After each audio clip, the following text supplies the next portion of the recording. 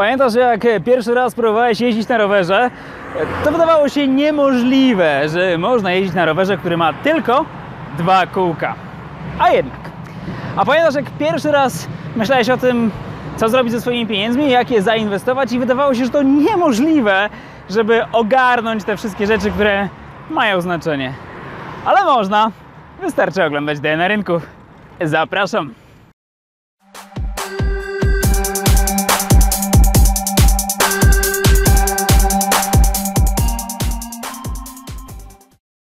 Jeżeli oglądasz ten odcinek DNA Rynków, to znaczy, że Tobie nie jest wszystko jedno, co stanie się z Twoim portfelem i z Twoimi pieniędzmi i chcesz wiedzieć, co wydarzyło się na rynkach i w gospodarkach i co wpłynie na Twój portfel. I dokładnie o tym wszystkim w dzisiejszym odcinku DNA Rynków pod tytułem Nieoczekiwana zmiana miejsc. Co się zmieniło i jak? O tym oczywiście w tym odcinku. Zaczynamy! A konkretnie w tym odcinku DNA Rynków będzie o tym, co wystraszyło inwestorów w USA, co planuje zrobić Europejski Bank Centralny, co warto wiedzieć o największym polskim banku PKO BP i jak koniec wojny wpływa na rynek. O tym wszystkim dokładnie w tym odcinku. To zaczynamy. Od ogółu do szczegółu.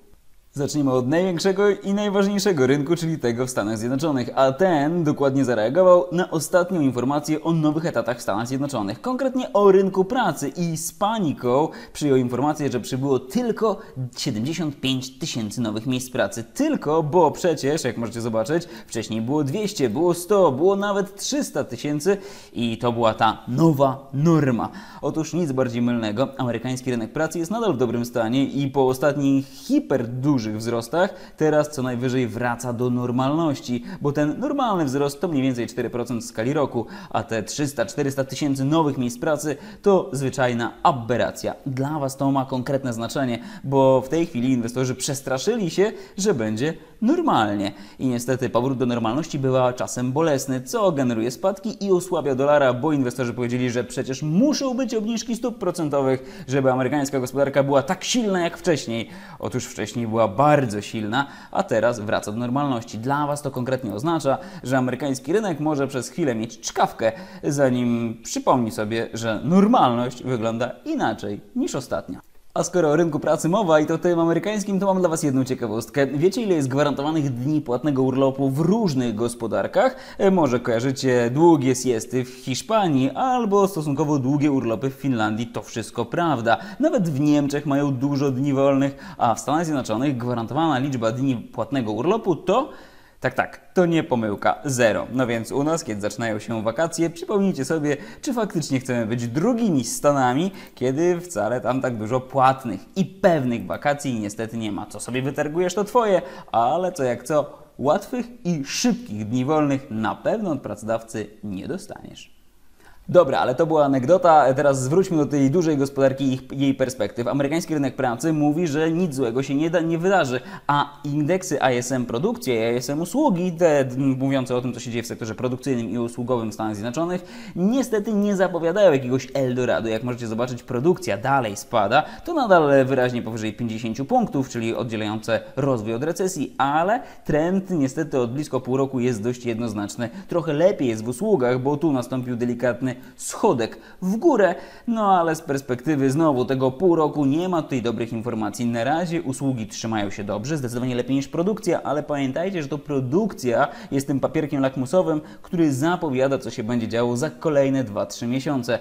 Na razie potwierdza to doniesienia, że czkawka na amerykańskiej giełdzie i czkawka amerykańskiej gospodarki w, drugim, w drugiej połowie 2019 roku jak najbardziej wiarygodna. Szczególnie, że inwestorzy mają jeszcze jeden problem. Na amerykańskim rynku wyrysowuje się tak zwana ulubiona formacja podwójnego szczytu. Co to znaczy? Amerykański rynek S&P 500 osiągnął jeden szczyt, a potem drugi szczyt, a po drodze były spadki. No i teraz dojście do tego poziomu jest dużym wyzwaniem, szczególnie, że jak możecie zobaczyć, ta duża zmienność na amerykańskim rynku zaczęła się dokładnie wtedy, kiedy amerykański bank centralny zaczął zmniejszać liczbę pieniędzy. Jak wcześniej tych pieniędzy było cały czas tyle samo, to i wzrosty były bardzo spokojne, pieniędzy zaczęło się robić coraz to coraz coraz mniej, no to i zmienność na rynki powróciła. Teraz dalej pieniędzy będzie mniej, a obniżki stóp procentowych, które w tej chwili przewiduje rynek, mogą być mocno, mocno na wyrost, choć amerykański Fed mówi, że jak co, to pomoże amerykańskiej gospodarce i będzie obniżał stopy, a nawet reagował w taki sposób, żeby uchronić amerykański wzrost.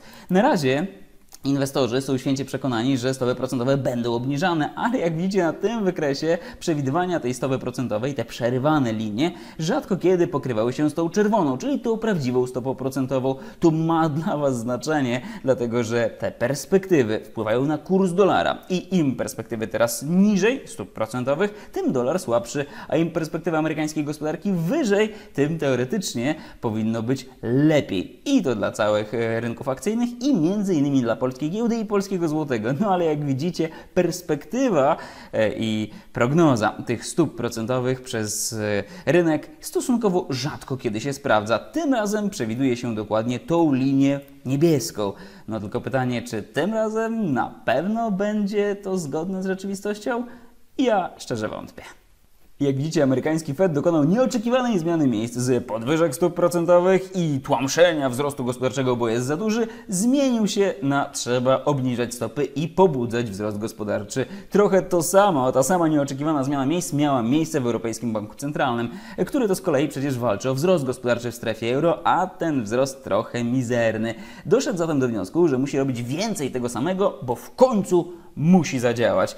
No na razie te działania nie przynoszą specjalnie efektu, bo chociażby indeksy PMI czy IFO z Niemiec o których mieliście okazję usłyszeć w ostatnim odcinku DNA Rynków, raczej zapowiadają się kurczenie europejskiej gospodarki niż jej rozwój, a mimo to Europejski Bank Centralny mówi, będziemy na to reagować, tylko że będzie robił dokładnie to samo. Stopy procentowe w strefie euro mają być bez zmian do 2020 roku, czyli jeszcze przez co najmniej rok. Tutaj nic się nie zmienia, a nowy program TLTRO, czyli pożyczki dla banków, też w sumie nie jest żadnym wielkim Eldorado. Jest trochę powtórką tego, co było w 2012 i co było w 2015. Na razie nic nic się nie zmienia.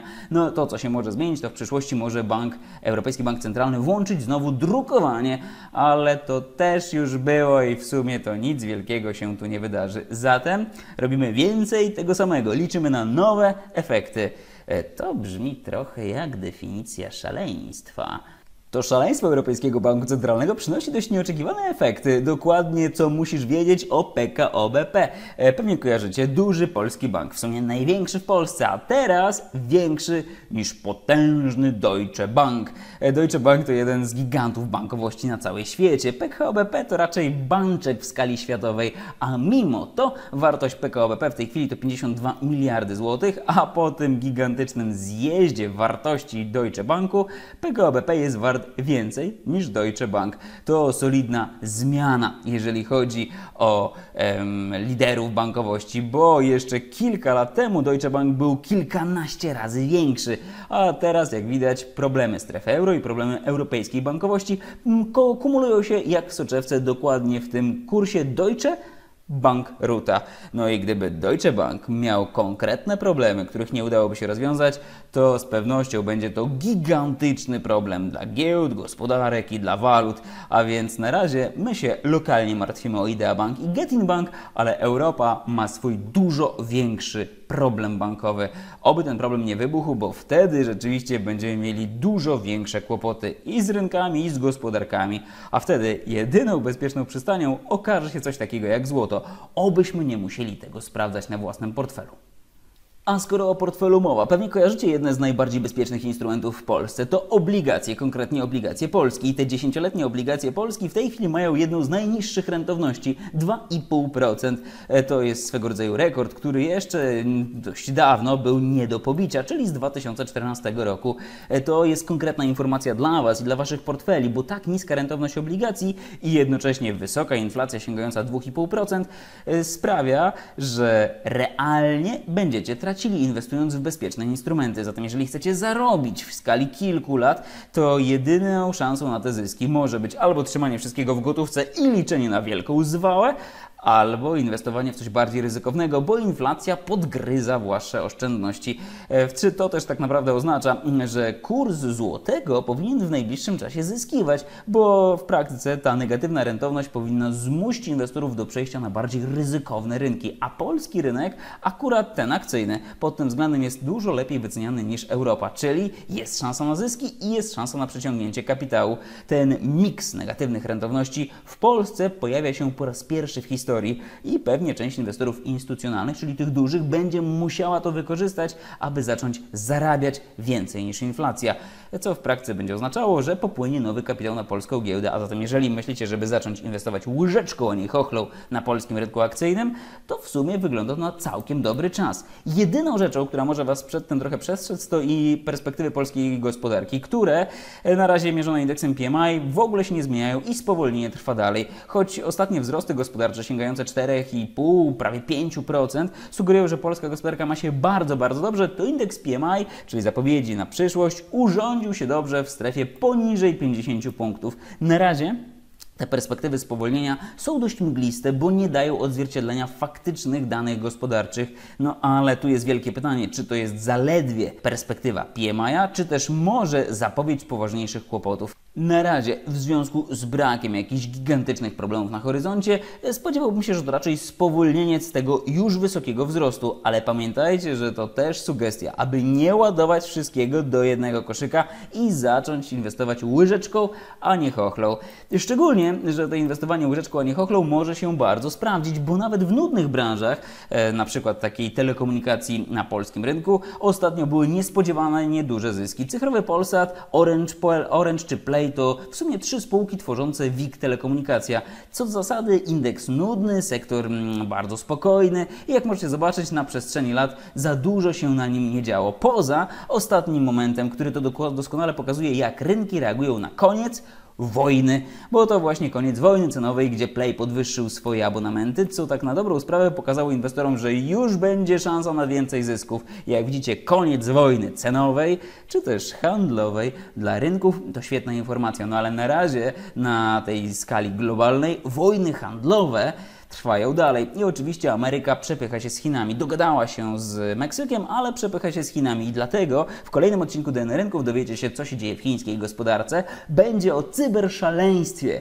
na giełdzie papierów wartościowych oraz o amerykańskiej produkcji i sprzedaży. Jeżeli chcecie koniecznie dowiedzieć się o tych informacjach jako pierwsi, zapiszcie się na newsletter DNA Rynków na stronie oczywiście dnarynków.pl. A tymczasem na najbliższy tydzień życzę Wam samych udanych inwestycji, mówiąc do zobaczenia, do zarobienia.